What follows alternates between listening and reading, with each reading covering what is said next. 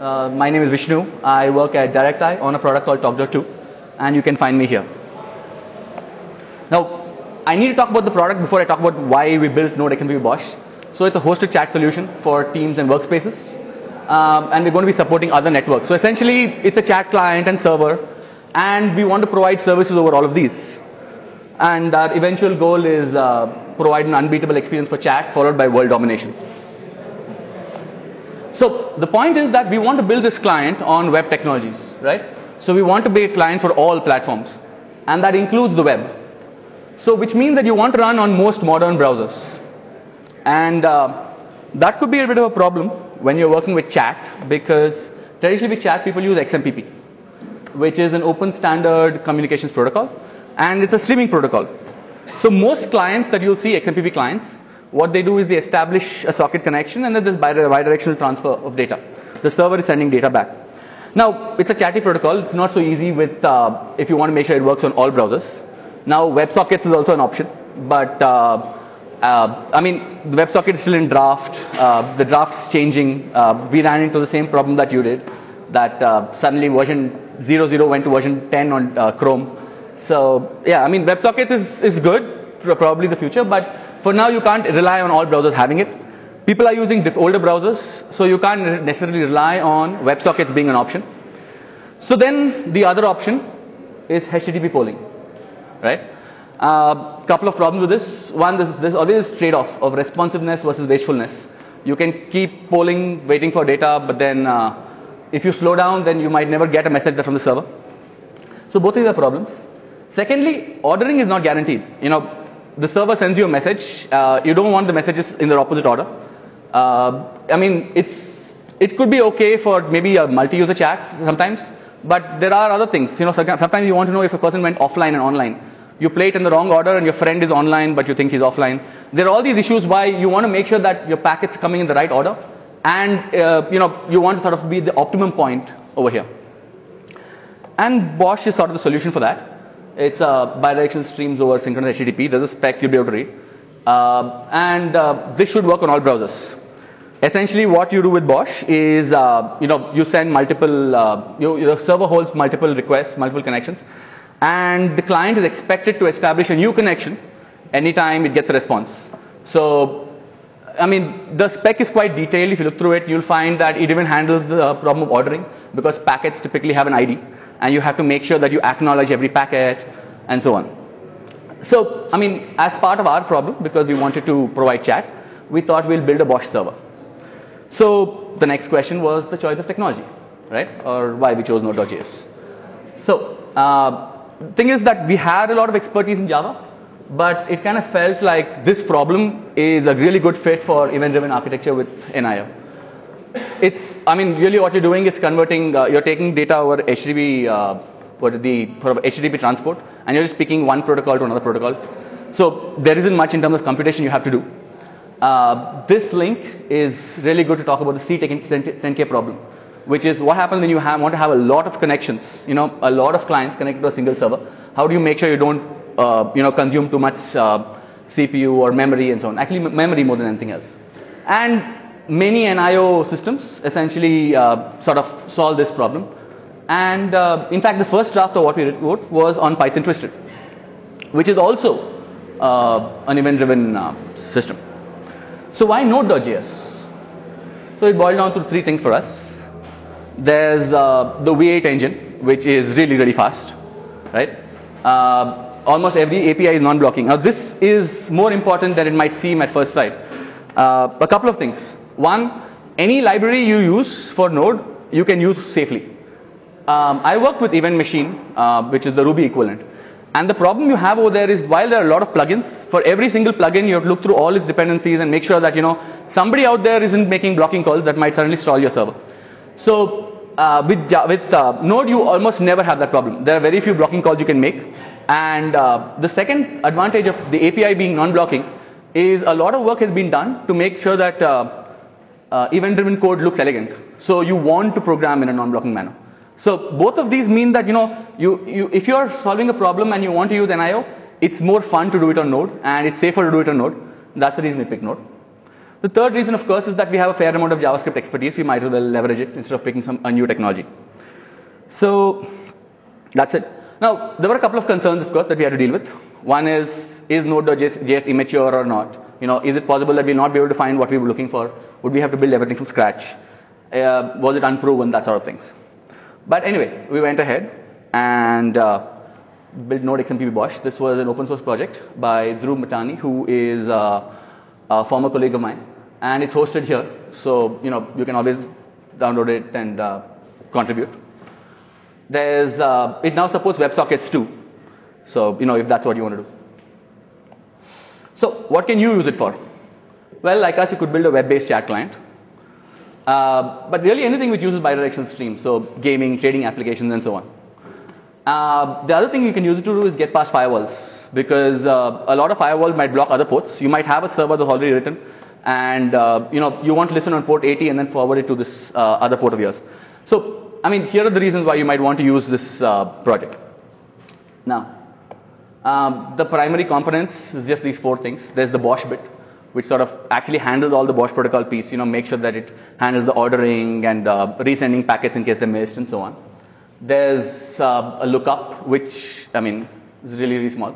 And then there's these two pieces, which actually handle the XMPP for us. The idea being that if you want to do something else, you just replace this, swap these out with something else. So that's the whole thing. And uh, the way in which you know we sort of do this uh, decoupling and communicate across them is the event emitters of Node.js. So uh, one thing we discovered while working with uh, Node is uh, that there are plenty of libraries. You know, uh, it looked like you know that would be a problem in the beginning. That you know you might have to sort of what, what's the word for this? Something the wheel. Reinvent the wheel. Thank you. But yeah, uh, it turned out there's a lot of a lot of things that we wanted that came up. I mean, there, there are libraries to do functional programming in uh, JavaScript. I think somebody's, uh, or I mean, got a talk on underscore.js and so on. So yeah, pretty much everything we wanted you could find easily. That was the point. Uh, one thing we also decided to do was sort of externalize comp- components, give back to the community. So, for example, we pulled out this thing called the event pipe, which really was nothing to do with uh, Node XMPP BOSH by itself, but was something we were using. Might as well make it available, and so on. So I was talking about event emitters earlier, right? The event emitters are really nice. Uh, I mean, if you talk to anybody about Node.js, I think this is one of the things that will come up very early. The API is uh, really beautiful. It's got a really simple API for events. It's built into the language. It's so you know sort of part of Node.js almost, and you'll find libraries built over this. You you know if you want to use event emitters, you add event emitter to your prototype chain, and that's it. You initialize the constructor, and you're done. It looks like this. You know, you say openet.on whatever, and that's it. Uh, and similarly, you can just emit an event anytime you want. So the API is that simple. it's very nice. I mean, typically you'll find that any app built with Node, this is pretty much how they're decoupling their uh, system. It's just events from one place to another. Oops. So uh, this is what we were using, and uh, for quite a while. Uh, at some point down the line, we decided that you know we had another problem that we wanted to solve. So we've got a plugin architecture that allows us to sort of introduce other plugins, which uh, I'll talk about later. Uh, sometimes what we wanted to do was an event was being fired, but some plugin might choose to suppress that event, uh, and so on. Similarly, we might want to emit our own events, and uh, I mean, you can emit your own events, of course, but if you wanted to suppress events uh, and make of make sure they don't go on, and you want to make sure it's easy for somebody who's following the code to understand that this event could be suppressed by this client and so on, uh, the event pipe was introduced. And the idea is it's got an API very similar to the event emitter. It uh, takes an ordered set of listeners. The idea being that when you sign up, you give it a priority and say, you know, I'm expecting to be uh, so so and so. And then you can build another abstraction over it to make sure that you know it's in one place. The order is visible to somebody. But the point is that you know you know for a fact that your listener is X position or whatever. So now you can cancel the event and so on. uh, you can get that here. Okay. Uh, the next thing I wanted to talk about is the web REPL. This is awesome. The web REPL is a, I mean, you, you know what a REPL is in Node, right? Uh, you can load up the REPL and you can just type code directly in there and so on. And the web REPL is a project just like that. It listens on a particular uh, port. Uh, it's a, I mean, HTTP this thing. You go in there, you can start typing JavaScript code and execute it, arbitrary uh, node code. But the nice thing is, it's great for monitoring. So, let me show you what that looks like. Come on. There we go. So, you know, if I hit that API, I get this. And you can go deeper. You know, I can look for something specific. So, for example, if you're using some sort of tool which is going to graph something out for you or monitor something for uh, a dangerous limit or whatever, you know, you can just keep, you can just provide HTTP endpoints that you keep hitting. And the way you do this, um, let me see if I have the code over here.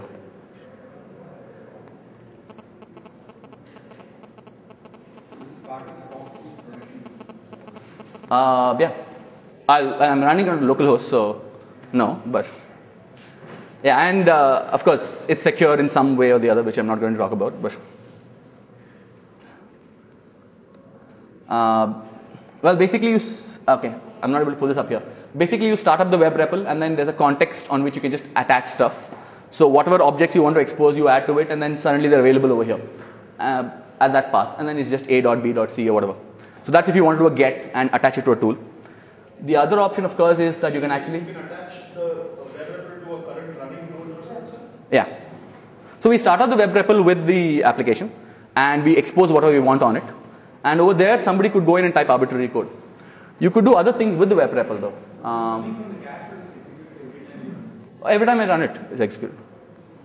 This you can inspect pretty much all the data that is the context of that. Yeah. The other nice thing about it is that you can change things at runtime. You could set the log level to debug and, you know, while it's running, which is great. Uh, I, I think I can actually do that right now. Too much trust. Well, I mean, once you have the endpoint, it's up to you to figure out how to secure it. That's a different problem. So I think, oh damn, I don't know what I've done. Never mind, I can't fix this now. Uh, I just wanted to show you that you know at runtime you could actually switch the uh, log level to debug and start debugging it and so on on production. So that's useful. Similarly, uh, there's the plugin architecture of ours, which I'll talk about in a bit, where you have plugins that do things. So you can test your pl- plugin at staging or whatever. Without taking your system down, you can hot deploy this, load it up, unload it whenever you want, and so on. So this is really great, the web REPL. Again, something that you know you should consider using. Um, oh yeah, this is the hot deploy plugin. So you can just load the, the plugins via the web REPL and just make sure that you know whenever you unload, everybody's sort of taken care of making sure that unloading is safe and so on. Uh, the plugin is inter- internal, and it's it's not an internal to uh, uh, Node XMPP BOSH. It's something else rewritten, but it's it's really small, so we didn't bother putting it into the BOSH server. The BOSH server by itself is separate. It's something like you have like an array of all the plugins and you do them before processing and you just inject it, push through. Yeah, pretty much. I mean, we just find the uh, location of this thing, we uh, require it and run it. So, you know, you just have to say load and name, it will require a file of that name. And on unload, we expect to call something so you can do whatever cleanup you want. Uh, cool.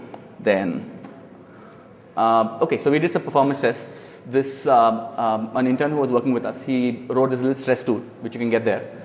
And running on an Intel sort of dual core machine, 2.4 gigahertz. Of course, Node, of course, runs on a single core. Uh, we were able to process about 1,650 requests per second. Now, uh, we kept increasing the number of clients. So, I mean, for 100 clients or 1,000 clients, it was the same. This was sort of the limit that we were hitting.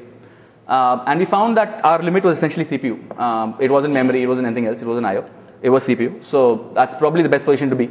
Uh, the thing we were wasting the most, I mean, we're spending the most time on is uh, XML parsing. So if you want to speed up anything, that's the thing we have to look at. Uh, we haven't really stressed to see how many clients we can support, but I mean, we expect that uh, if anything else, that should increase memory, not uh, CPU. So that is the second bottleneck that we'll have to hit at some point. But at the moment, this is what we're looking at. So uh, that's that's pretty good. Each request is a message. Yeah. So does it change when you increase the size of the message? or something? Yeah, it would. I mean, we were testing it with really simple messages. It, it would because you're sort of doing an XML parse. I mean, that's where we spend most of our time. So it's that bit that we have to worry about. Yeah. This was tested sending messages back and forth to between two people and so on. Right. And as far as scaling, uh, I think the important thing to make sure over here is that specific clients go to the same instance. So we use Nginx, and so we set a cookie which you can use to determine which server you're hitting and so on. Uh, but yeah, you can just run as many instances as you want. As long as you take care of this, you're okay. This is necessary for uh, the ordering of packets and so on.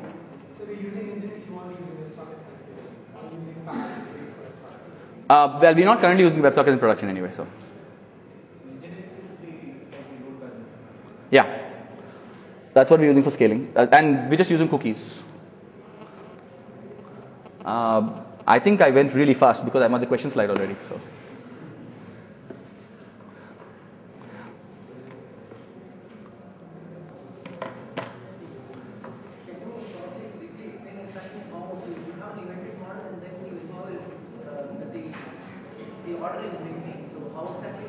Okay, so the question is how is uh, ordering maintained with an inventory model? Uh, so, let me, I mean, uh, uh, are you talking about the ordering of packets or how do you make sure that you process events in the right order?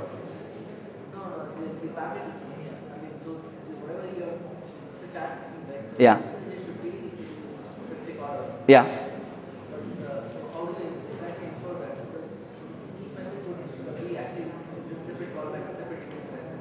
Yeah, but as we process each message, all we're doing is sending it down to the XMPP server. But uh, how do they ensure that they have sequence? Because there's no guarantee. Yeah, so the, I mean, where we're likely to lose sequence is the bit where uh, we're making HTTP calls, right? Because they're separate calls, separate, sending separate packets. But every message on BOSH has a request ID.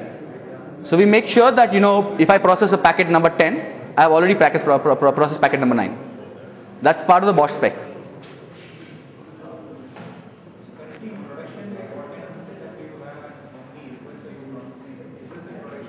It's in production right now. Uh, I won't be able to give you the number offhand of how many requests we're processing. Uh, I can't access the web REPL from here, clearly. Uh, but, um, sorry. Again, I, I- don't have those numbers offhand, sorry. We just tested the tool, but in terms of our actual this thing right now, we're well below it. So, we haven't really looked at that yet. We tested this on a, I mean, I, I saw, uh, not even a representative machine of production, something really, uh, so it, yeah. I mean, we, this is not our, anywhere near our bottleneck, so. Can you get rid of the XML? This is so much faster without. Yeah, I, I mean absolutely. Uh, I mean I think there is there, there are there are all these different uh, what should I say uh, library that people have written. So you can talk in JSON and uh, you know at, at the last minute it sort of becomes XML. So that's always an option. So if you have two clients on the web, you can just communicate both in JSON and then third party comes in XML. Yeah. I mean, I think at this point there's a lot of investment already in XML in terms of you know other uh, servers, but we could definitely slowly phase it out. So we look at any of the modules that we have for XML parsers in Node, pretty much any of them, they suck. They're just awful. They just, and that's probably not their fault. XML in general is, is much more computable. We've actually spoken about converting all of the communication right from client to server and then within servers the cloud to That's, JSON. that's what I'm saying. And keeping XML at the edges so that you know. If somebody wants to have a desktop Java client, send them convert XML and give it to them. Yeah. everything else is JSON. Yeah. Much, much faster. So apart from the server, server load and different parts, you said that the Sorry, there are two communications going on.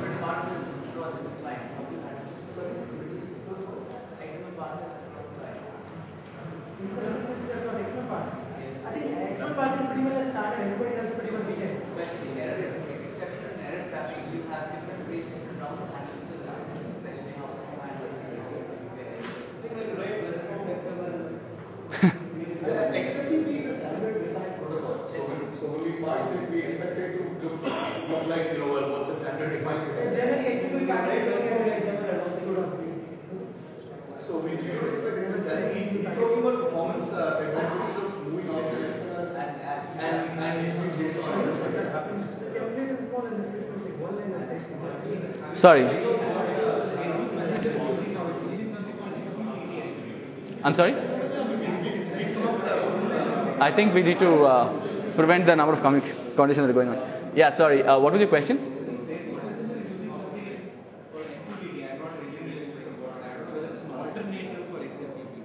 Okay. Uh, I mean, I don't know. So we're talking to Facebook via XMPP.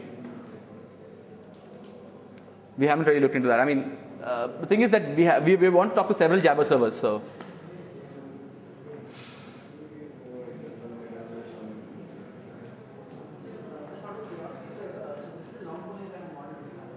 Yeah.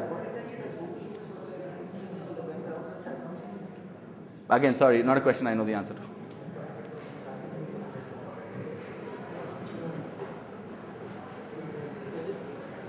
push video or audio? I mean, pretty much anything you could send over it. Uh, the the BOSH spec, uh, spec itself it allows you to send data inside uh, has a body in which you can send any da- arbitrary data. So as long as you send, I mean, sending data to it, you should be fine. It's not specific to XMPP, if that's what you meant. The if you want to build uh, something that sends different data, you'll have to replace essentially these two pieces. So you can convert whatever you, uh, you get over here to your custom protocol every time data comes in.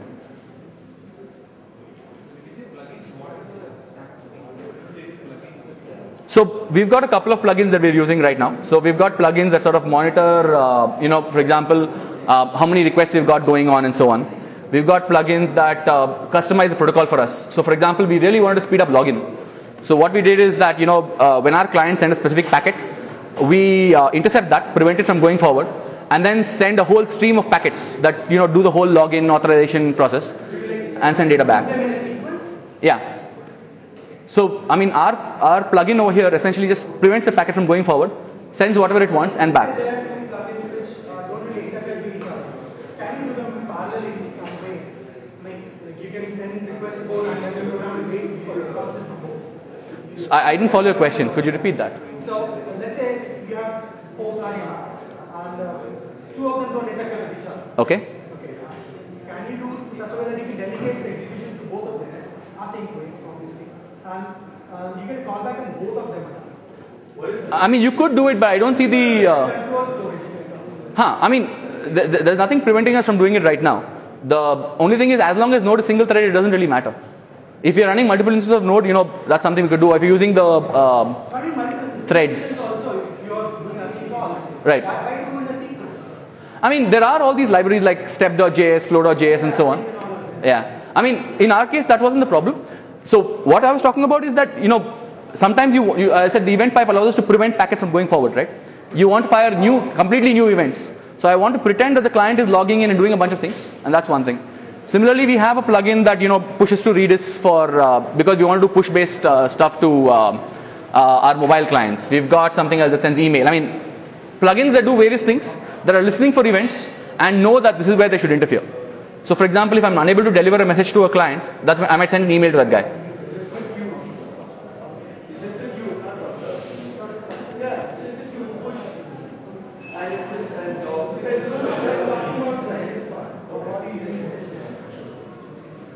What are we using Redis for? Just as a queue. So this BOSH XMPP server, whenever it receives a message and the client is disconnected from it, so it's not able to push the message to the client, it pushes that message out to Redis. On the other side, there's a uh, push handler that subscribes to that basically pops messages from the queue and just pushes it out to your iPhone uh, push handler or whatever. Makes sense. Considering the features that we have.